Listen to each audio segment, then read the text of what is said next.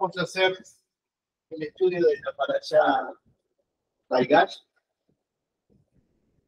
que es el retorno de Yosef a sus hermanos, el encuentro de Yosef con Jacob, Israel, y la demostración de que Judá había comprendido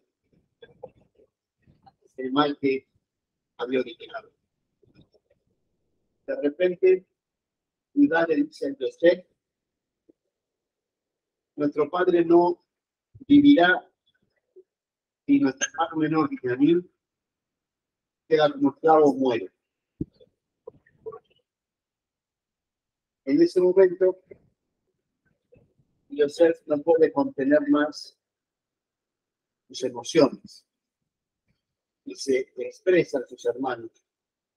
que está viendo, en realidad, es Joseph.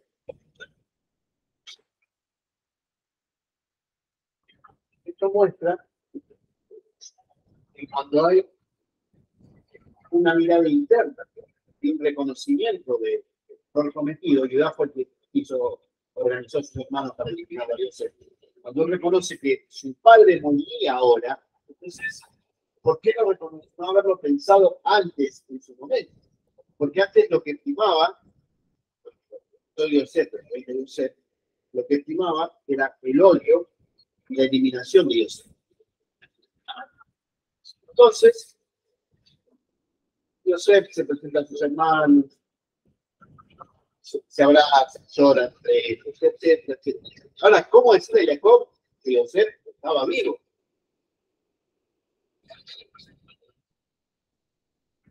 Para eso se dice que a Jacob se le hizo tocar música, en la música se le cantaba que en realidad Joseph estaba vivo y vivía en Egipto. Entonces eso le creo lata a Jacob. Y de repente aparece Jacob, aparece Joseph con los carruajes que el faraón mandó con alimento y carruajes para toda la familia de Joseph baje a Egipto, porque todavía iba a haber cinco años más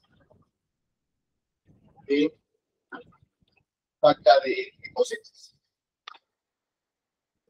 Cuenta Midrash que cuando Jacob baja a Egipto y habla con Faraón, le ofrece la tierra de Goshen, porque se habían eran las ovejas, los egipcios no se juntaban para no ovejas, nos mandan a la tierra de la tierra es muy buena, y ahí se corta el hambre del mundo. Los siete años que iba a haber, en el sueño de Faraón, fueron dos años y medio más o menos de sequía, y volvió a llover y los campos volvieron a, a producir.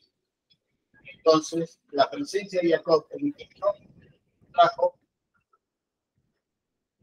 que los años difíciles empezaran a mejorar.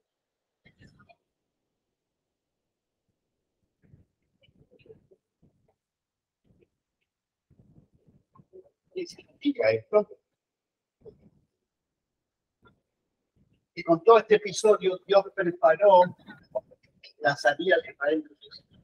Iba a ser para algunos 210 años después, para otros 400 años después. Iba a salir, iba a salir con abundancia.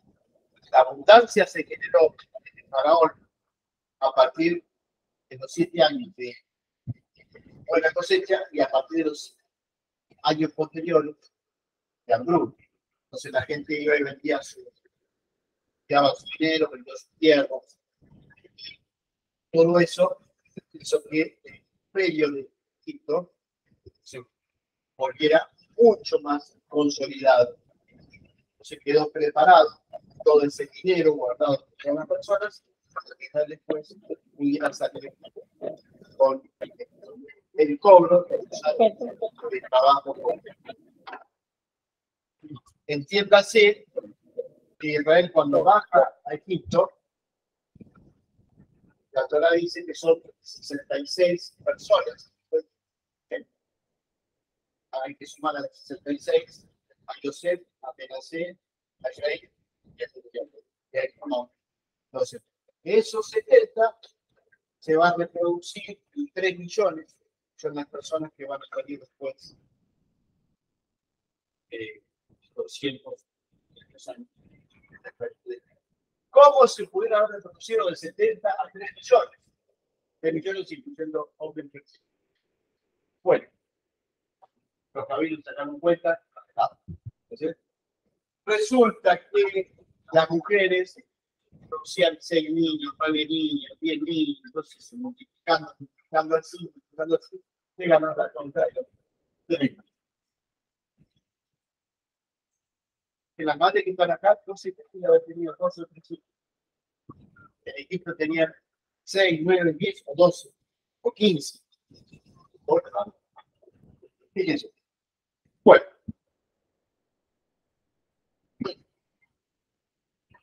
Cuando Yosef te da a conocer a sus hermanos y los manda a buscar a cada uno le da obsequios. El que está detallado es el objeto que le da a Piñaní, distinto a los hermanos. A Piñaní, su hermano menor, o de Rachel, es malo da 300 ciclos de plata y 5 vestidos.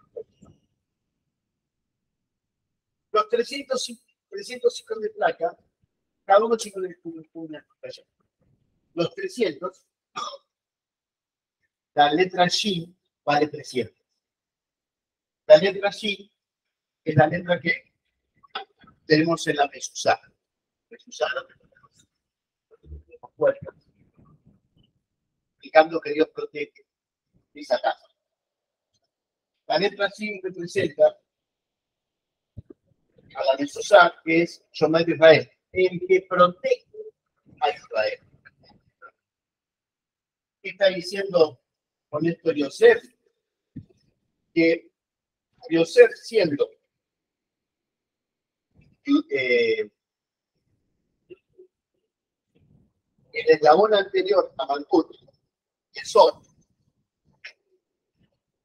son Shaddai, Shaddai el Todopoderoso, el Todopoderoso que lo protege todo. Y que va a proteger a Israel mientras estuviera Las cinco vestimentas refieren a una profecía indicando que Mordecai va a haber cinco veces a Hasberosh en la historia de Israel. Rey. Bueno, todo esto, Yosef está un paso más allá de sus hermanos.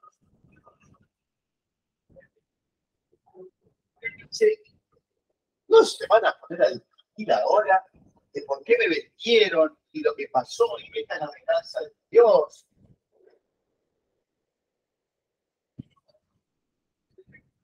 Me dice, de acá no a ti, déjate, o ti el y Hashem o Y ahora no son ustedes los que me han enviado aquí, sino Dios. Estáis los hermanos. No se pongan a discutir por qué me vendieron, y que ahora están bajo mi pies, que son los. No son ustedes los que originaron ese hecho, sino que fue Dios el que produjo ese hecho en ustedes. ¿Para qué? Para que cuando llegue este momento de hambruna, sea yo el proveedor de todas las familias.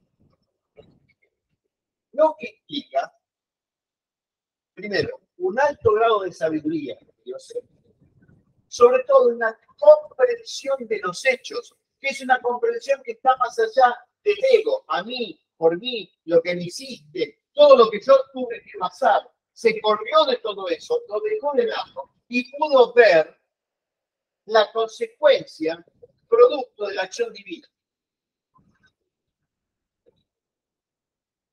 Todo ese pasaje fueron años en la vida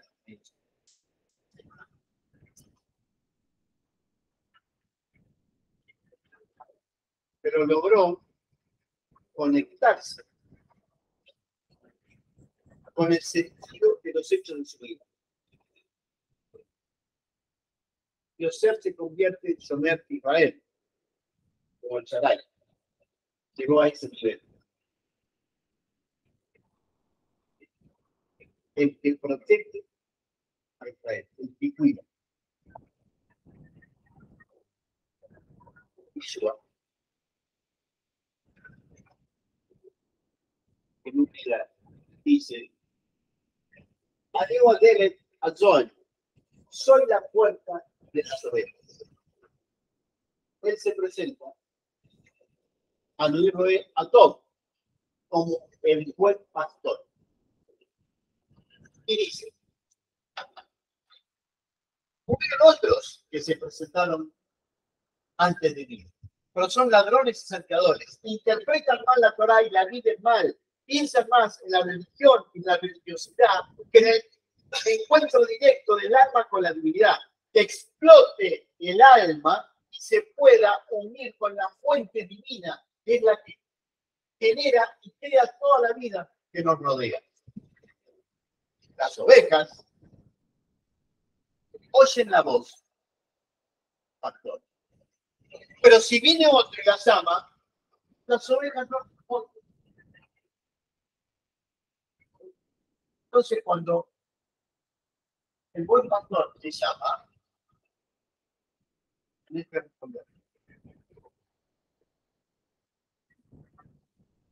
y él dice que abre y cierra la puerta.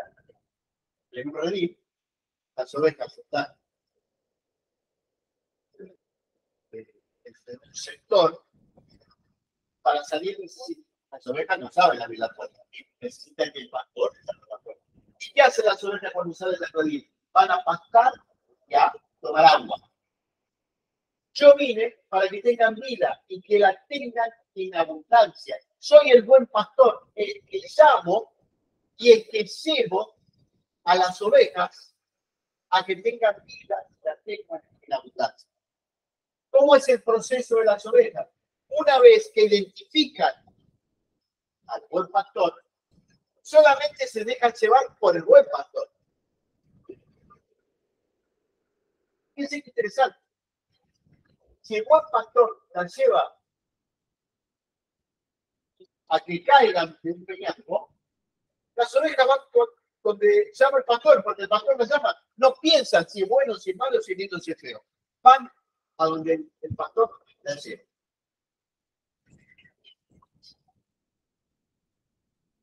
Comen, toman agua y vuelven otra vez al redil. Una y otra vez. Es la confianza que han desarrollado las ovejas en el otro, porque ese otro las conduce a la vida, que esa vida sea abundante.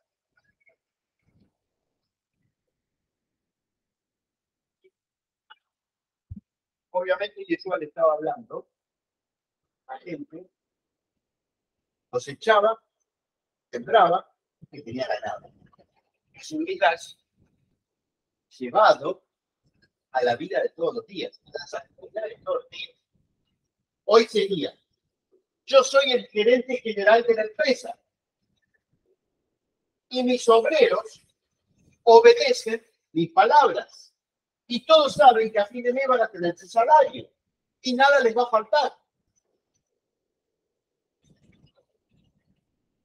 Y si la empresa va para un lugar, ellos trabajan para ese lugar. Si la empresa que conduzco va para otro lugar, ellos van a trabajar para el otro lugar. Así como sé, no tenemos un solo registro de que hayas, explicado a Dios de los hechos que tenía que ver. Las ovejas no se fijan por el contrario, lo siguen. Escuchan su voz, lo siguen otro les habla esas ovejas y no lo siguen, porque se han identificado con el buen pastor, con el líder. Ahora bien,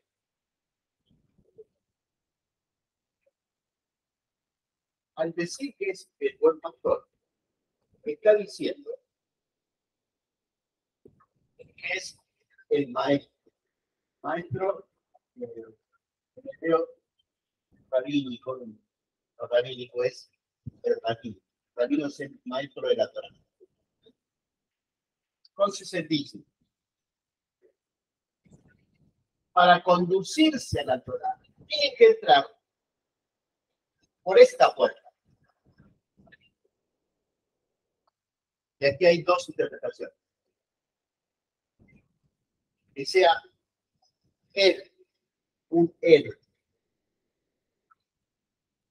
la puerta de ingreso al cielo, o que sea él el que te muestre cuál es el camino para que las ovejas entren a la puerta, que no es lo mismo. ¿Por qué? Porque si lo vemos en nuestra vida de todos los días y nuestra evolución en el cuerpo,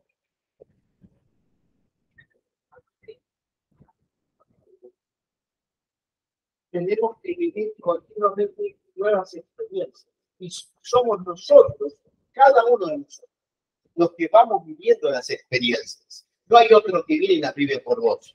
En todo caso, es Dios el que te las manda, como se las mandó a Yosef todas sus experiencias para que ser se siga desarrollando.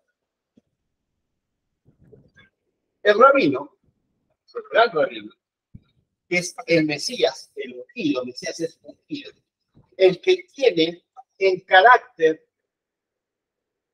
desarrollado de conectarse directamente con la divinidad y venir a enseñarnos cómo entrar a pasar y tomar agua, a alimentarnos, a tener vida y, tenernos, y a tener la abundancia. Pero somos cada uno de nosotros los que tiene que tener vida interior y en abundancia. Y eso no es un regalo, es un logro de nuestro aprendizaje.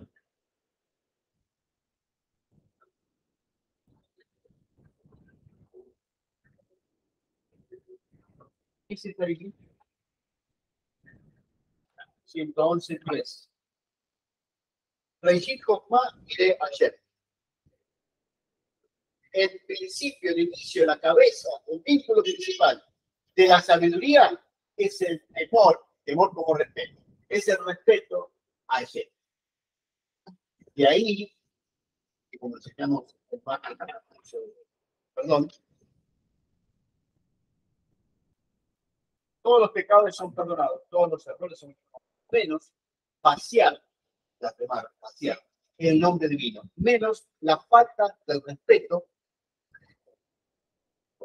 al nombre divino. Es decir,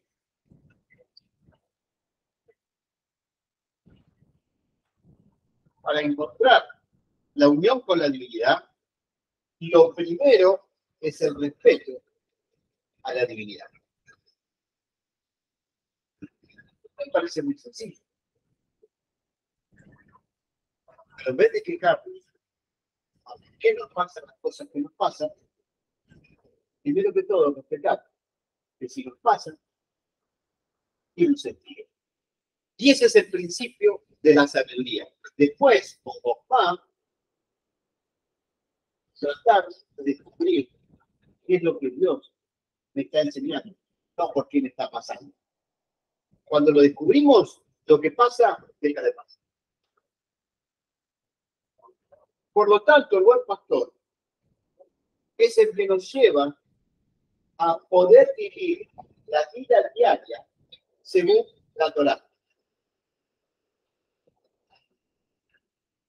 Y todas las acciones y los sucesos van a quedar encuadrados en que provienen que afectan a distintos mundos.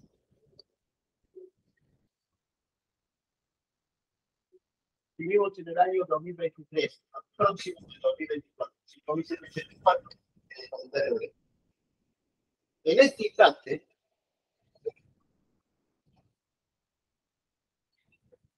hay, almas, todo el mundo, en distintos niveles.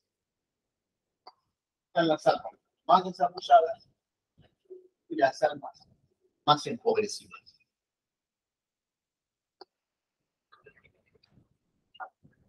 Estamos evolucionando hacia la integridad de los materiales.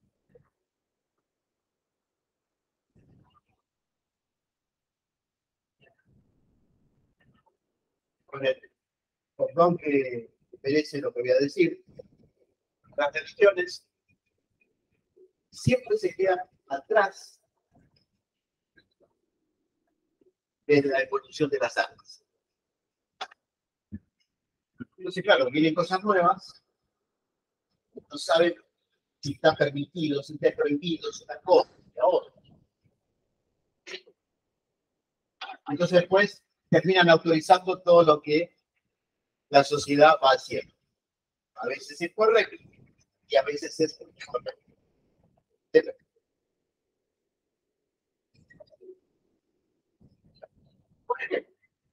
Solo es un ejemplo, ¿eh? Todos. Después surgió, no. Todos, todas. Después surgió, no. Todas. Todos. Todas, todes. Y ahora ya todes ya no se usa. Ya, no el gobierno, X, X cosas, ya no, ya no digamos más todes que es la unión de toda y todo. Entonces lo hacemos todos para que no sea ni una cosa ni la otra cosa. Vamos mirando para un lugar, vamos mirando para el otro. ¿Qué es lo que está faltando ahí? Tener las ideas centrales claras. Hay una fuerza, hay una expresión divina masculina y hay la expresión divina femenina. Durante muchos siglos se ha enseñado que Dios es hombre. Aquí se le va a poner esta mujer. Las creencias anteriores tenían diosas. Y a medida que vamos evolucionando, vamos, deberíamos encontrar un punto de medio. 50% masculino, 50% femenino. Si no hay hombre, mujer no se para. Pero si no hay mujer, el hombre no puede embarazarse. Se cuenta y sí,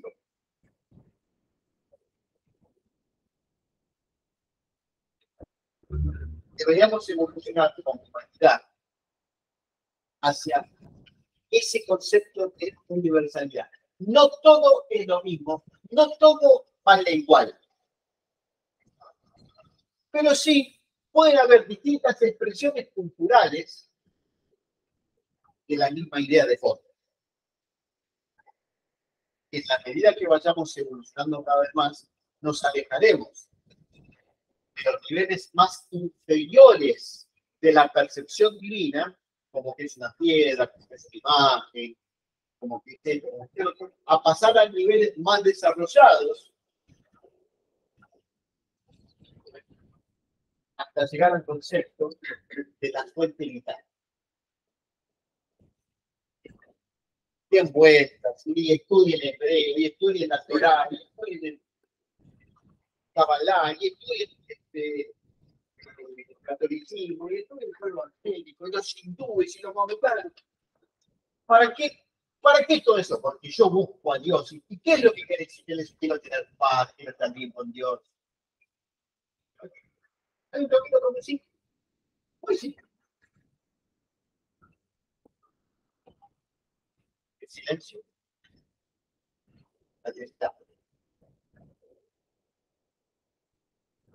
El los no robar, no matar. No pensar tanto en mí, para mí, porque yo. tratar de abrirse a dar.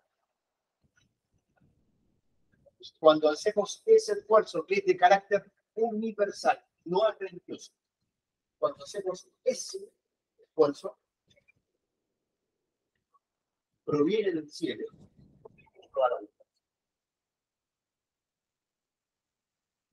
Cuando Yeshua se define a sí mismo como Arroeatov, el buen pastor.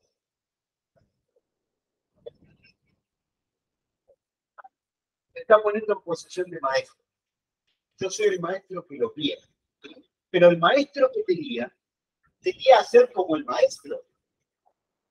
No que seas una ovejita que no sabe nada que no pueda hacer otra cosita más que lo que dice el pastor. Te está ofreciendo la oportunidad de llegar al nivel del maestro. yo enseñó. Al discípulo le basta hacer como es su maestro. No estoy diciendo que todos seamos y que todos seamos representantes de Dios en Estoy diciendo que nos está invitando a vivir la Torah como él la vivió. Recuerdo que él a nació en Israel, predicaba en las sinagogas, nunca se de, la, de Israel. Se habló solamente a Israel. ¿Y de qué hablaba? De cómo vivir la Torah todos los días y explicarnos de manera lo más simple posible los secretos que no podemos captar cuando nuestro nivel de alma está enfrascado solamente en la realidad del mundo físico. La realidad del mundo físico nos parte en 20.000 pedacitos y nos corre directamente de la fuente de vida.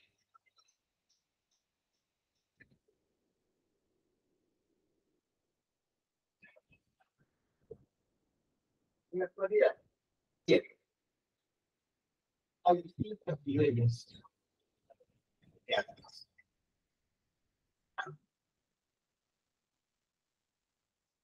Nunca les ha pasado de haberse encontrado con una persona de otro grupo, de otra religión, de otra creencia, vestido de otra manera, que come otras cosas.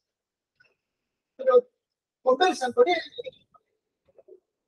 Qué buena, qué buena.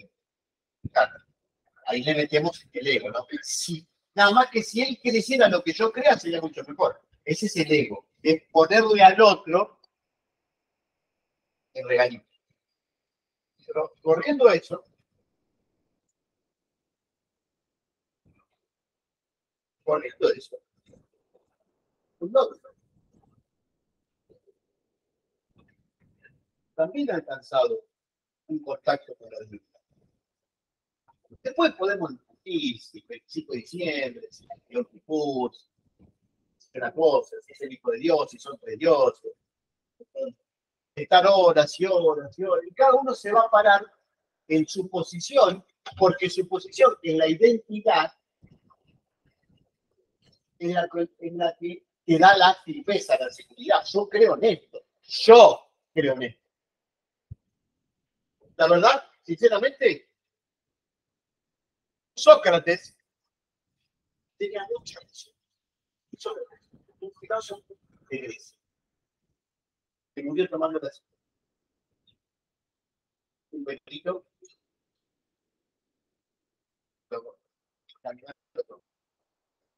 Solo sé, no sé,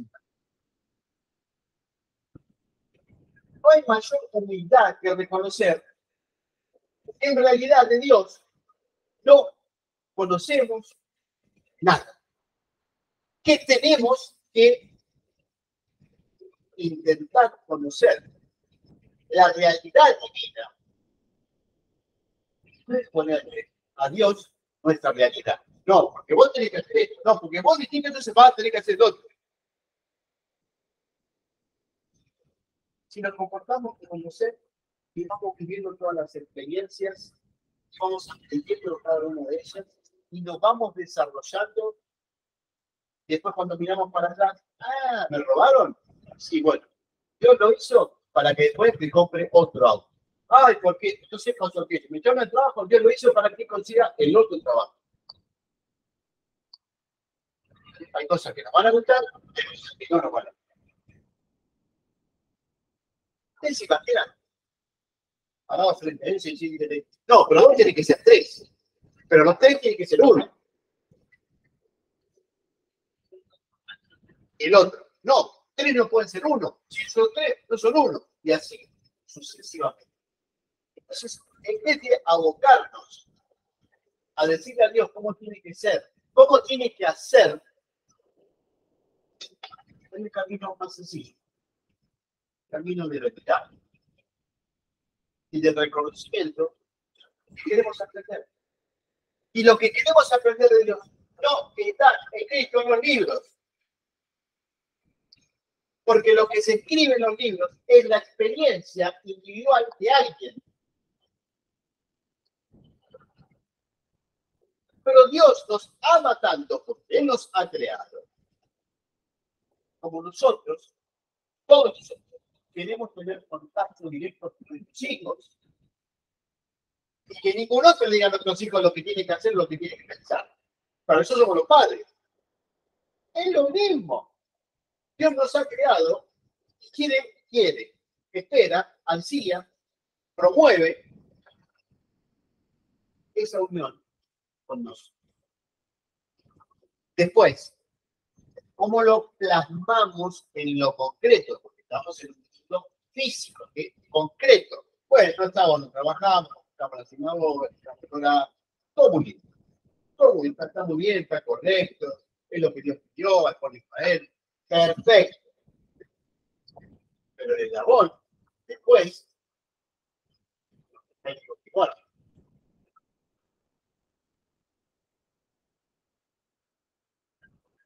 El principio de la sabiduría es el respeto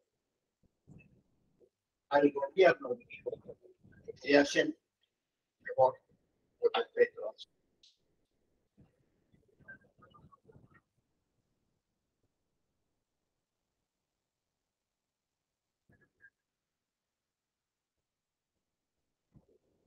ese contacto con Dios.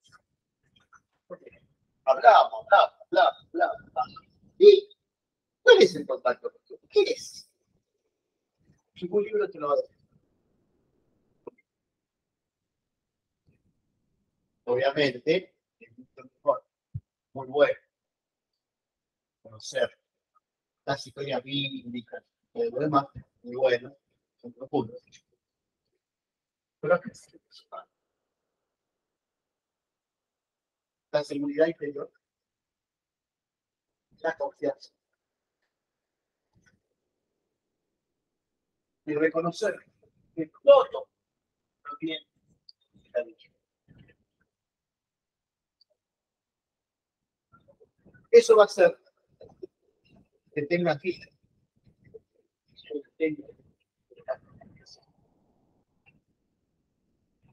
Si tenés vida interna, y es abundante, también te vas a dar cuenta que los caminos de la vida diaria se van acomodando a las necesidades que vas teniendo.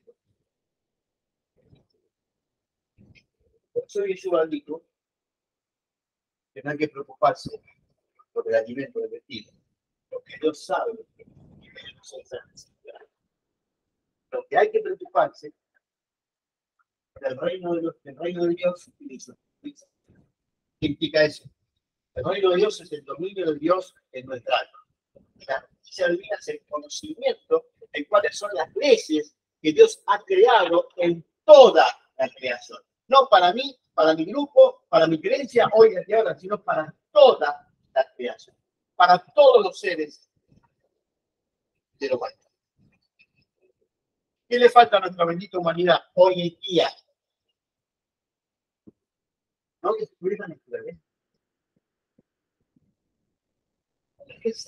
¿Ustedes por qué se piensan que hay tantos cambios de temperatura, que llueve, que viento, que la sequía, que llueve mucho? Estamos destruyendo el planeta. Estamos destruyendo los árboles. Estamos destruyendo peces. Estamos destruyendo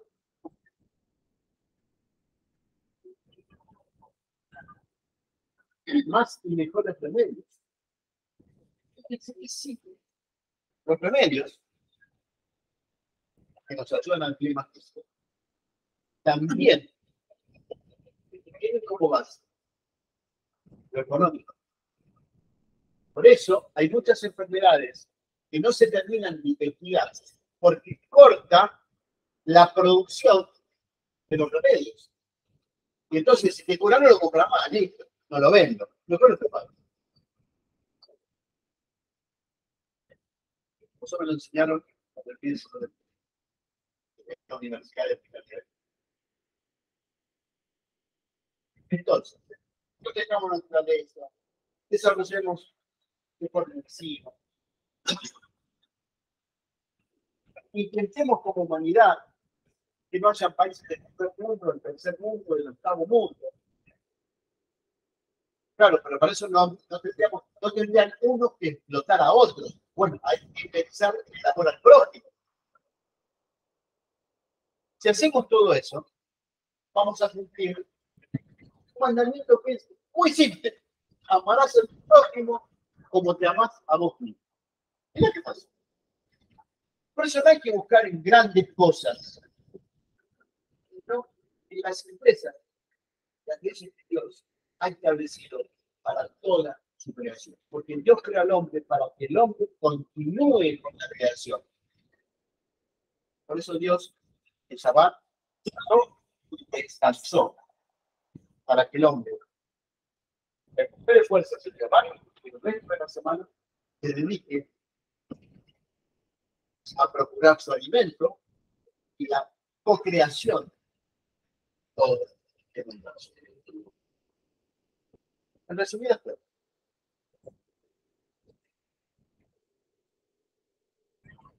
la vida interior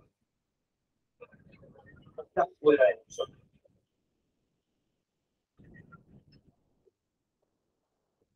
Está un. Y el alma sedienta de Dios es la que golpea la puerta y la entrada quiere entrar a dónde? A un nuevo nivel de sabiduría y de conocimiento en la vida. Eso no te lo va a dar ningún libro, ningún estudio, un rabino, un pastor, nadie. No hay intermediarios con Dios. Los intermediarios son humanos. Usted puede dar un consejo, consejo que hagan esto, que hagan lo otro, lo que etc. Así que el desafío que tenemos en este mundo, todos, sea la edad que tengamos y sean las experiencias que hayamos vivido, es vivir la vida diaria, caminando hacia la vida de la, de la fuente divina. La fuente divina Cierro con esto.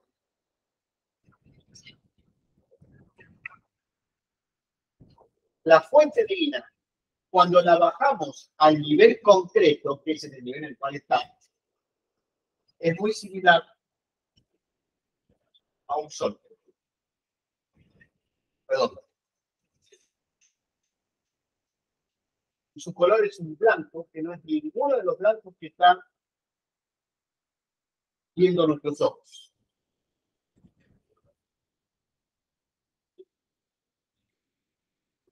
Ahí está la llama de la vida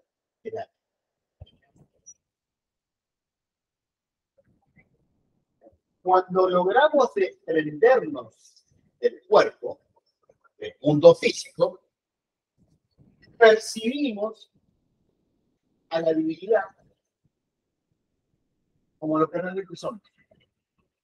Ahora estamos enfrascados dentro de un cuerpo que vive una cantidad cuando somos muy jóvenes no tenemos ninguna enfermedad, cuando empezamos a pasar los años empieza a recibir de acá, que que hacer, que va a hacer, porque el cuerpo se va a gastar. Bueno, va, nos quedan ahí abajo. En ese momento nos conectamos directamente. Mientras tanto, mientras estamos aquí en este mundo, tenemos la posibilidad de ser muy felices, de tener vida en nuestro interior y tener abundancia de esa vida. Llamada confianza, seguridad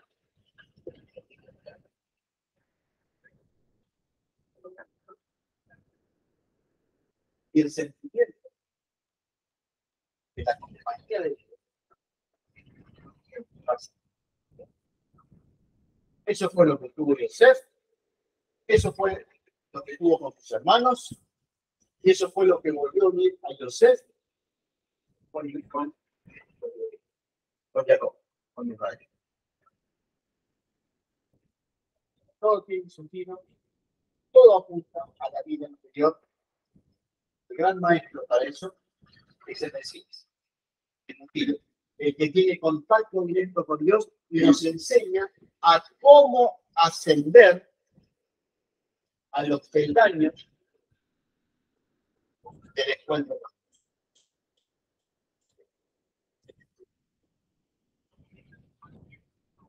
Claro que para encontrarse con Dios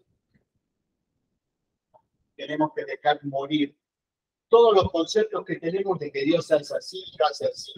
¿Por qué no dejamos que Dios nos sorprenda, nos enseñe exactamente ¿Cuáles son sus reglas?